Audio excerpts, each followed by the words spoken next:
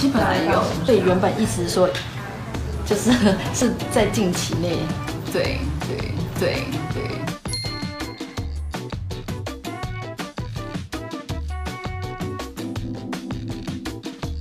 现在脑子是二十四小时在转的那种感觉，是真的没有休息的时间。觉得你最有灵感的时候是什么时候？好像躺在床上，所以我想 最近睡眠品质不是很好。那老公会不会很心疼你这样，就是？他很支持我，他觉得他看我做自己的事情做得很开心，他觉得这样很好。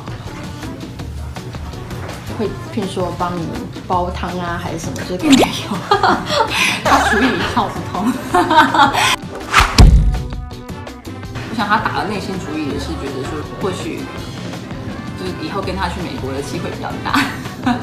所以老公有跟你提过，就是之后要搬到美国。嗯，其实我们一直都有事情，因为无论是他的工作的关系，或是小孩子的教育的问题。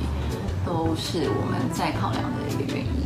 本来有，但他就是一再的为我延后，所以我觉得他的对我蛮好的。那你有做好心理准备要离开台湾这样子？